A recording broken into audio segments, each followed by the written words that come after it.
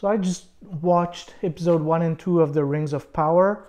Um, and yeah, so to be to be quite transparent with you guys, this is the second time I'm trying to watch this show. Uh, the first time I watched it, I stopped at episode three. Yeah, I stopped at episode three.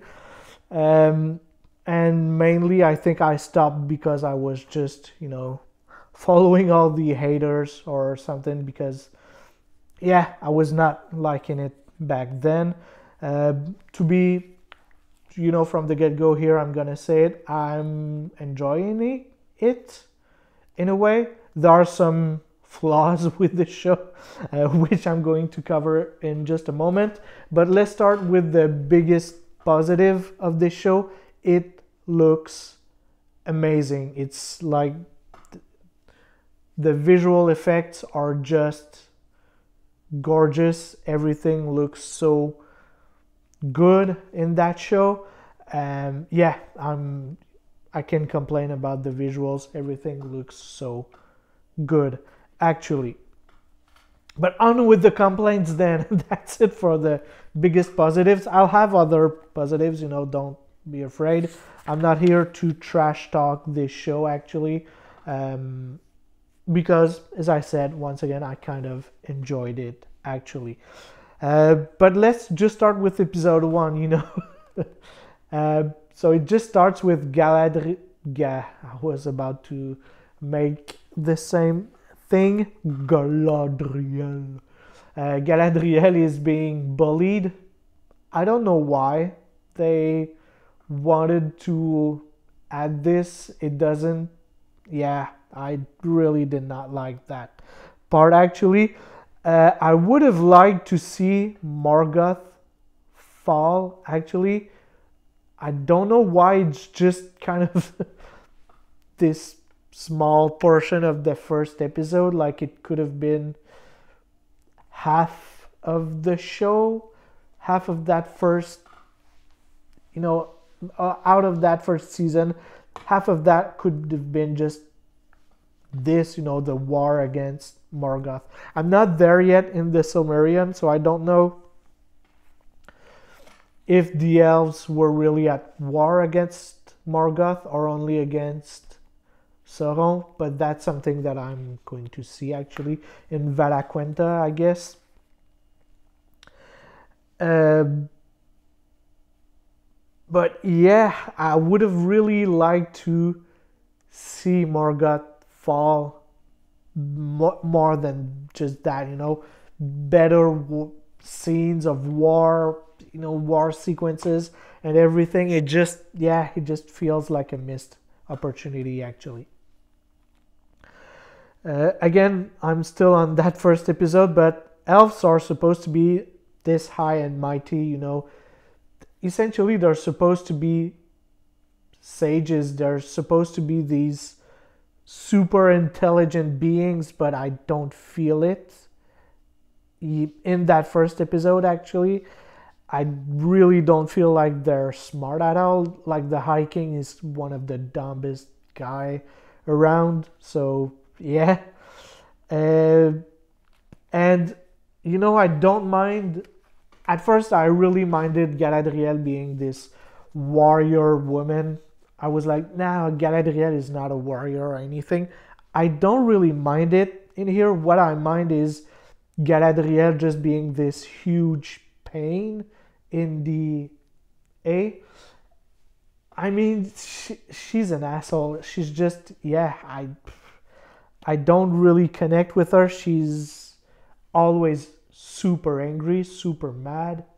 So yeah, she's always like super mad at everybody. So yeah, that's something you know that just don't feel right with me. Uh, now on episode two, uh, yeah, so Celebrimbor just walks with Elrond, Elrond to Khazad-dûm and just to be stopped at the gates and just he has to turn back essentially i was like this is so bad writing like who yeah i don't and the whole thing with the war between the dwarf and the elf, so between Durin and Elrond, I just, yeah, it, it doesn't make any sense. They just did that to,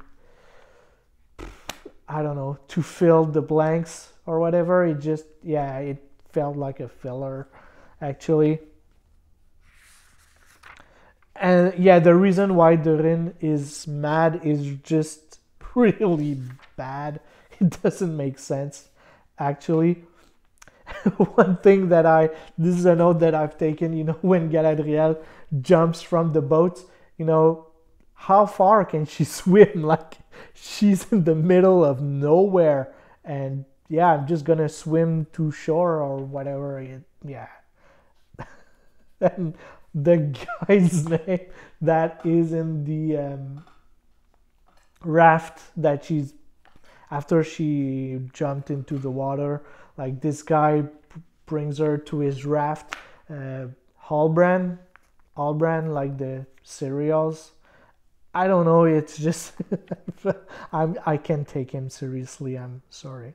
And yeah last complaint I have is the elf you know he sees a tunnel and he's like uh, I don't remember exactly what he says but the woman is like uh, hey are you sure you should go there? Like we don't know who dug this hole or whatever. He's like this is precisely where i why i have to go in there and he gets kidnapped. And by the way the hands that grabs him is just that scene was really well done. I really liked it.